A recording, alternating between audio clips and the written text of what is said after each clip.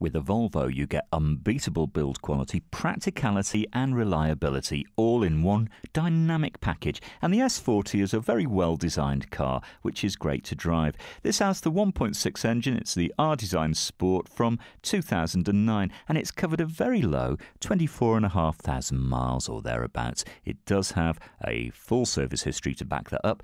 It's been looked after, this car, and it's waiting for you to enjoy. It's in a nice colour too. The metallic grey really suits the lines of the S40, I reckon. And you've got smart alloys too. Now get inside, contrasting interior, which is very comfortable. It's half leather, very nice place to be behind the wheel. You've got all round airbags, climate control, all round electric windows, CD player. And if you do a lot of motorway driving, the cruise control feature is a real benefit and it helps you save fuel as well. Now, on the move, you can expect up to 49 miles per gallon and six months' tax, just a little over £100, so your running costs are pretty reasonable. Come down, have a test drive, see what you think. Another great car at Fords of Winsford.